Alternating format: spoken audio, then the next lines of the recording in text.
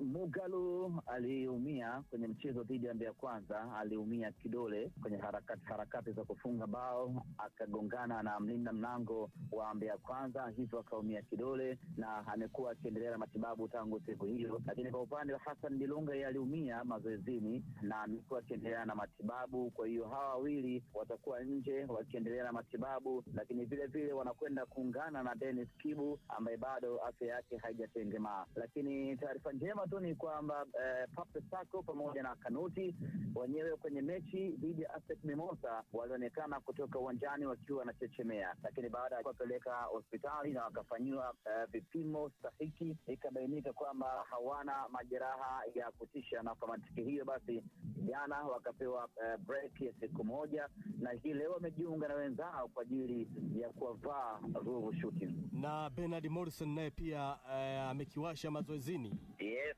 Bernard Morrison amekiwasha mazoezini, amejiunga na wenzake na kileo amefanya mazoezi na wenzie, yuko sawasawa. Ahmed Ali huyo meneja wa habari na mawasiliano wa wekundu wa Msimbazi Simba, ambao ndio mabingwa wa michuano hii ya Azam Sport Federation, wanaenda kuikabili timu ya eh, soka ya Ruvu Shooting. Na habari nzuri kwa eh, vijana wa Simba ni urejeo wa mtukutu Bernard Morrison ambaye uh, amerudishwa kundini na leo huenda akawa ni miongoni mwa wale nyota ambao watavaa jezi ya Simba. Eh,